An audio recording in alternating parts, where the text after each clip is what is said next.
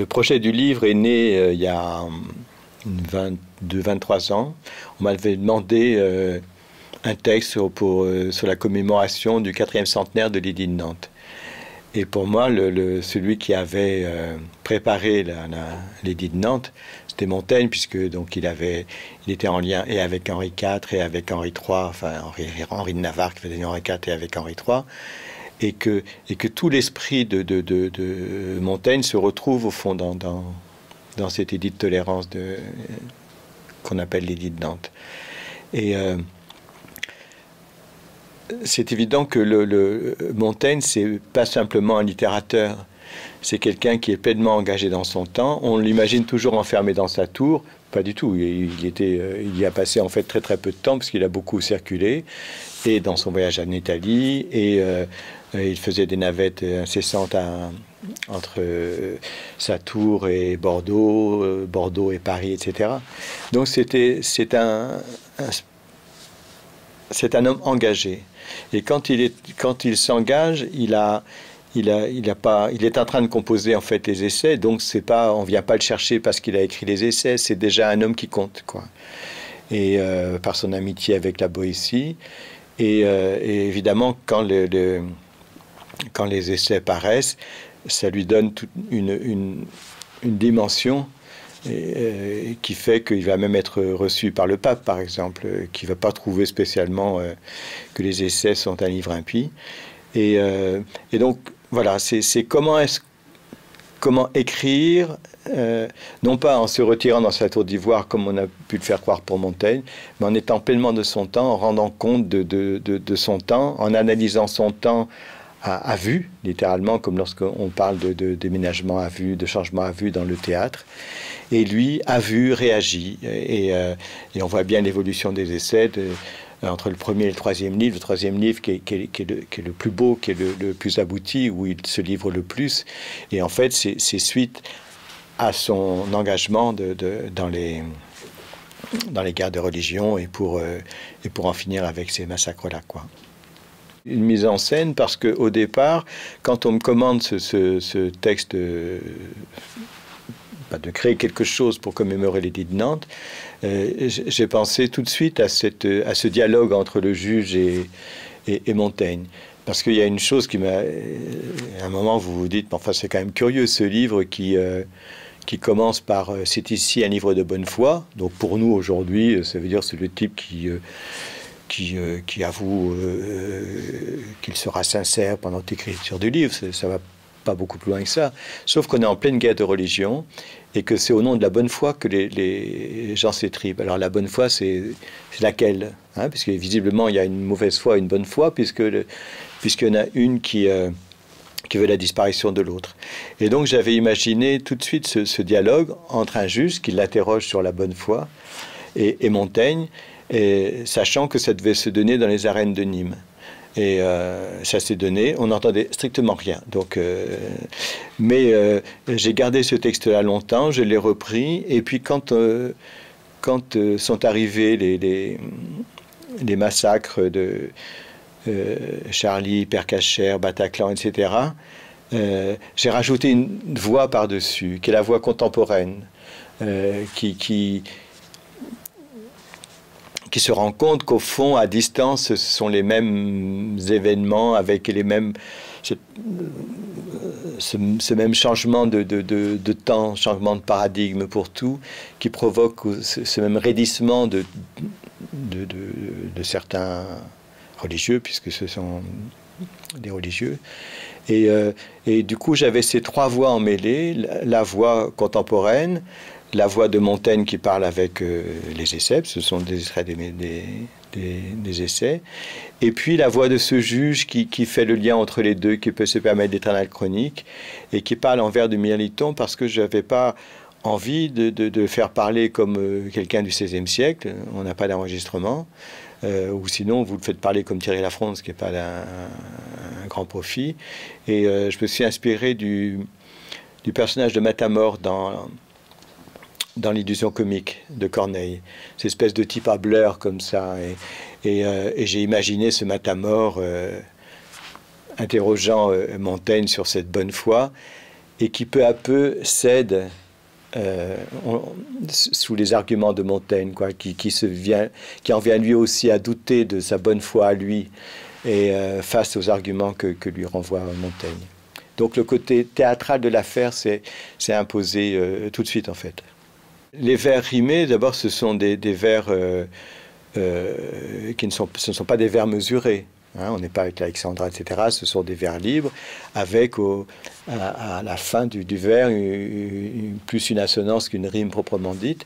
Mais le fait est qu'on attend, euh, c'est ça le, principe de la poésie rimée, c'est qu'on attend quelle rime va, sonner en, bout de vers, puisqu'on a été préparé par le, vers précédent à ce qu'il se passe quelque chose de,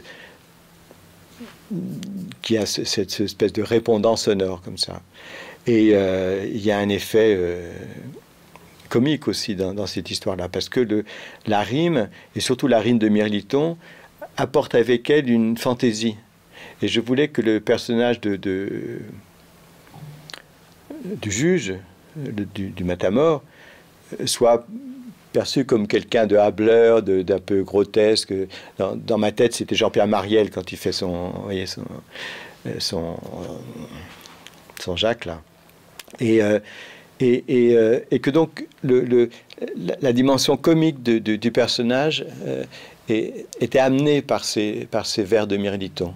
Voyez si, si j'avais fait des vers mesurés et rimés, ça lui aurait donné un ton sérieux, pontifiant. Au lieu que là, ça lui donne une liberté aussi d'expression. Je, me souviens que je fais rimer Daesh avec les enfants de la crèche, par exemple. Euh, c'est ce qui est un anachronisme, mais qui, euh, provoque, je, crois aussi, un, effet de, drôlerie quand même. Et, euh, j'avais besoin de, ce, de, ce, de cette dimension comique dans cette tragédie, c'est pour ça que j'ai appelé ça une tragicomédie, pour, pour ne pas rester plombé par par, euh, par les textes que l'on a de, Ronsard ou d'Agrippa d'Aubigné sur les, massacres et sur les, exactions de part et d'autre pendant la guerre de religion, qui sont absolument terrifiants quand vous lisez euh, Agrippa ou, Ronsard. Et euh, là, c'était une, manière de prendre aussi un peu de, hauteur avec, la chose, c'est-à-dire avec la guerre. Et puis, je voulais pas faire la controverse de Valladolid. Voilà c'est une forme de ce prologue et, cet épilogue, c'est un peu à, à, saut et à gambade. on, est, on est dans, la, dans une logique, euh, entre, entre guillemets, euh, comment on dit, montaignesque. Euh, et, et, ce qui fait que je suis parti sur. c'est la libre association, et c'est ça de ce que j'appelle le cerveau poétique. Lorsque je commence, le, quand vous écrivez une pièce de théâtre, vous avez toujours un prologue, ça se passe, la scène se déroule à, voilà, bon, à Séville, dans le, dans le parc, euh, etc. C'est toujours situé. Et euh, il m'est venu là, là, une phrase de Claudel euh, qui présente le, le soulier de satin pour, et qui, en réclamant toute la scène du monde.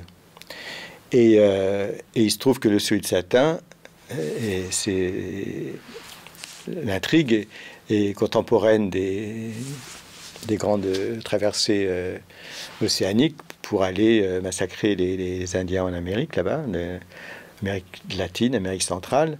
Et, donc, tout de suite, je me retrouvais avec une actualité qui est celle de Montaigne.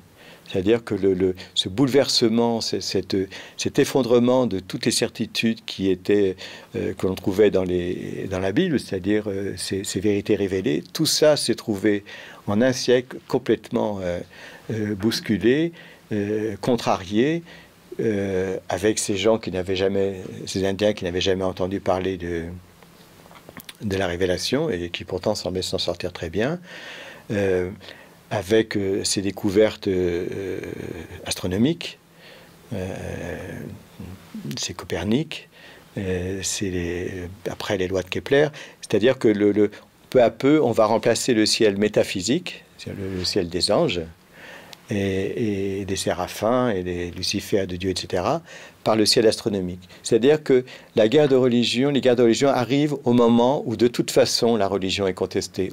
Toutes ces croyances-là sur lesquelles on a, euh, s'était construit le, plus haut de, de l'Occident chrétien, c'est-à-dire le temps des cathédrales, tout ça s'effondre en, dans ce siècle-là, avec aussi cette chose, ces, deux choses qui arrivent et qui, qui, nous, qui ont des vraies correspondances pour nous, c'est euh, l'imprimerie.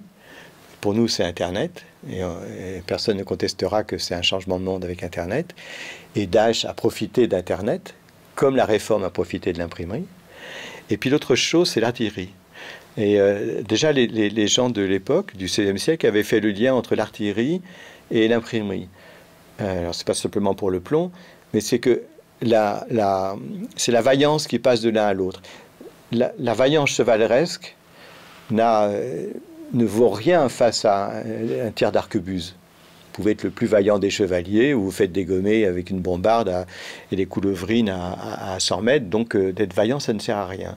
Et donc, il y a, la, y a la, force de frappe qui va passer de la, la, chevalerie au texte, à, la parole incarnée. Hein. Euh, et donc il y a une poursuite quand même avec le texte révélé, avec, avec la Bible, etc. Et euh, le premier texte publié, c'est la Bible quand même. Sauf que, que Luther va s'emparer de ça, et, toute, la, toute la propagande de la réforme va passer par l'imprimerie avec une vitesse folle comme ça. Et euh, donc, c'est, on voit bien comment la, la, question, au fond, pour, pour tous ces gens-là, c'est euh, qu'est-ce qu'on fait maintenant que tout s'est effondré? Maintenant qu'on ne peut plus croire à ce, qu'on nous a raconté pendant des siècles. Et euh, il y a un tableau de, dont je parle dans le livre, euh, qui a été peint par euh, Holbein le Jeune en 1520. Il est à Bâle, il rencontre Erasme, c'est-à-dire l'humanisme, hein, la formation de l'humanisme, qui représente un Christ mort mais sans aucun signe de la divinité. Il n'y a plus d'auréole, il n'y a plus rien. C'est de la barbaque. Et, c'est Dostoïevski qui, voyant ce, ce, Christ-là d'Holbein à, à Bâle, il dit à sa femme, euh, il reste prostré devant, il dit à sa femme, c'est le genre de tableau qui peut faire douter de la résurrection. Voilà. Donc, ce doute de Dostoïevski devant le tableau, c'est le doute de, de tout ce siècle-là qui, qui, du coup va s'arc-bouter sur les dernières euh, croyances pour, ne pas céder à, ce doute systématique sur lequel on vit depuis, depuis ce temps-là. quoi.